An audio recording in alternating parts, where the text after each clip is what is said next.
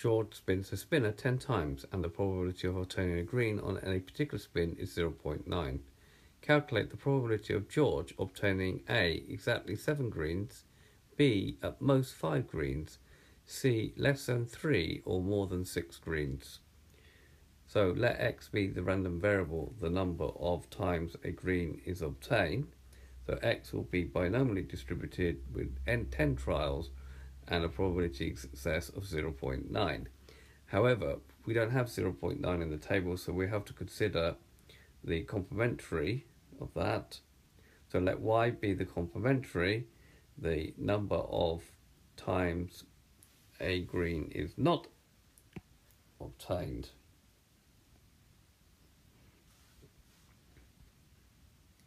So that means that y is binomially distributed with 10 trials and a probability of success 1 minus 0.9, which is 0.1. Right, in part A, we want the probability that x is equal to 7. If we were to do that using uh, this distribution, that would be the probability x is less than or equal to 7 minus the probability that x is less than or equal to 6. So that's going to be the probability, when we use the complementary function, we take change the x to y, reverse the strict inequality, and then take the number of trials, which is 10, and take away the, the 7. Same here, probability that y is greater, reverse the inequality sign, and write down 10 minus 6, which is the probability of y being greater than equal to 3 minus the probability of y being greater than equal to 4. Using our tables, this is 1 for 0 0.1, so we need to do this one, 1 minus probability of y less than or equal to 2, minus bracket 1 minus y, the probability less than or equal to 3. So it's going to be 1 minus this 0 0.92898 minus 1 plus, minus times a minus, 0 0.9872. Working out on our calculator, we get 0 0.0574.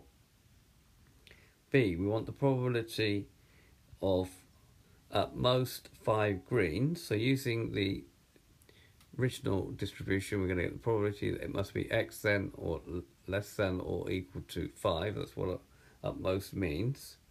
So it, reversing the inequality to get the complementary ones, we've got y greater than the number of trials, which is 10, take away 5. y must be greater or equal to 5, which means we need to do 1 minus the probability that y is less than or equal to 4.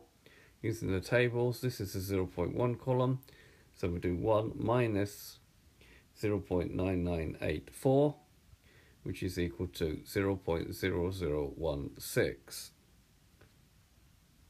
The probability that x is less than 3 or probability that x is greater than 6. Writing down strict probabilities, we now write that's probability of x less than or equal to 2 or the probability of x being greater than or equal to 7.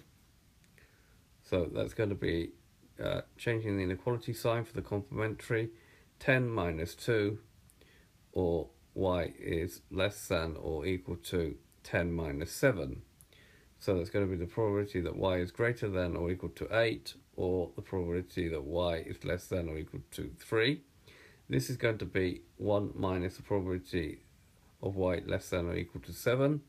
This one will just keep us the same, so we need to do 1 using the table minus the probability of less than or equal to 7, which happens to be 1, plus the probability of less than 3, which happens to be 0 0.9872. This is 0, so we end up with an answer 0 0.9872, which rounded off becomes 0 0.987.